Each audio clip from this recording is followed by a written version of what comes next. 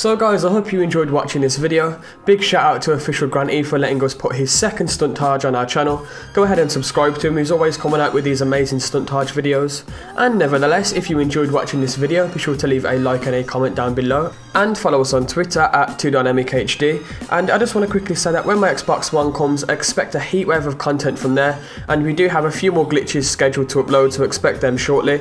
Anyway, I will see you guys in the next video.